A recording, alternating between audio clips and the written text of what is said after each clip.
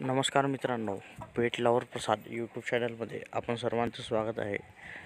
तर मित्रांनो आपले एक सबस्क्रायबर आहे त्याने एक कमेंटमध्ये विचारलं होतं की खडकनाथ कोंबडीला आपण अंड्यावर बसू शकतो का?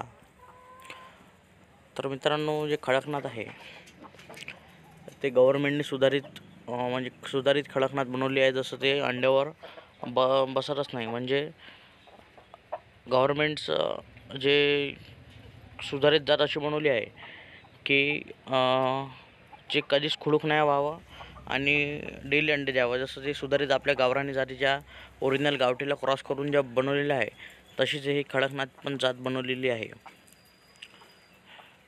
तर मित्रांनो ही सर्वात आधी झाबुआ मध्य प्रदेश इथली जात आहे.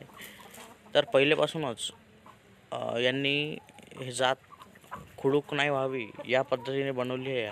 जेणेकरून जास्तीत जास्त अंडे मिळावे आणि हॅचेरी म मशीनमधून हे पिल्ले काढावे. जर काही आणखीन एक सबस्क्रायबर आहे त्यांनी विचारलं होते की आमची कडकनाथ कोंबडी अंड्यावर बसते. परंतु मित्रांनो तुमच्याकडे खडकनाथ कोंबडी अंडर बसत असेल तर ते क्रॉस खडकनाथ आहे.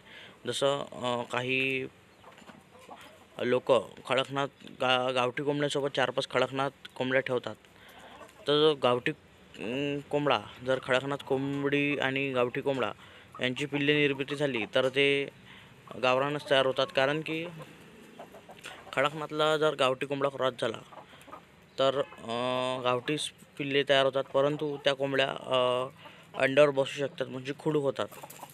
आणि जे ओरिजिनल खडकनाथ आहे जसं आपण फार्ममधून आणतो कोणाच्या किंवा पिल्ले बोलवतो तर ते मोठ्यापणे खुडूक होतच नाही. तुमच्या पण कडे असेल खडकनाथ तुम्हाला पण अनुभव असेल. पण त्या सबस्क्रायबरला थोडं माहिती नव्हती म्हणून आपण हा व्हिडिओ बनवलेला आहे. जर तुम्हाला काही अडचण येत असेल कुक्कुटपालनमध्ये तर न नक्कीच कमेंट करा. आपण त्या प्रश्नाची उत्तर लवकरात लवकर देण्याचा प्रयत्न करतो. धन्यवाद.